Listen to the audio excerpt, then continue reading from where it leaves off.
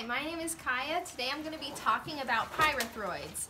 Those are a class of synthetic insecticide. Pyrethroid means pyrethrum-like. Pyrethrums are natural pesticides from the chrysanthemum flower. People oftentimes get those confused.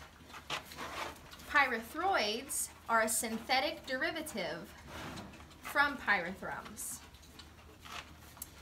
Pyrethrums are used in a lot of your organic gardening sprays and fogs and things like that, but pyrethroids are most times used for insecticides to topically apply on animals, but they are also used for gardening, lawn care, and other uses as well.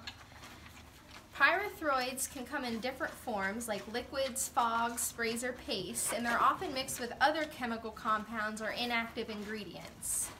Sometimes you can buy it as a concentrate and add it to water, or you can buy it in an already formulated paste. The way pyrethroids work is they attack the central nervous system of the insect. That then leads to paralysis and finally death.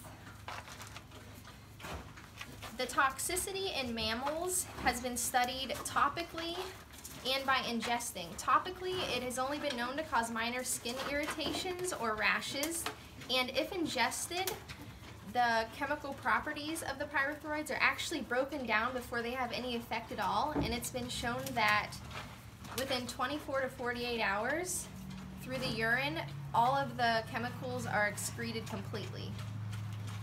In fish, it has been tested that if added directly to their water source, the pyrethroids can cause toxicity.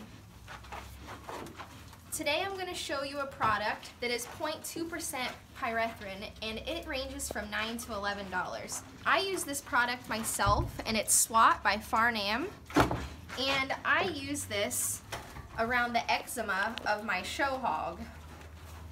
I use gloves when applying this because it can cause skin irritation. Right here is the eczema wound on the hog and it oftentimes flares up. The white around it you see is an antimicrobial ointment we use to keep dirt, debris, and it clean from infection. I'm going to apply the SWAT around the wound while not touching it. This will apply a barrier from the wound so flies or any other flying insects don't target that open skin. And I do that once a day. So this was SWAT by Farnam, and some people use it um, to go around wounds on horses or just behind their ears as a face repellent. There are other products out there like pyrethrin concentrates, and those range from 14 to $16, and those can go up to 90.96% of pyrethrin. And those are oftentimes mixed with water in hoses and used to spray lawns and gardens. Well, today I hope you learned a little bit about pyrethroids and a little bit how to care for a wound on a hog.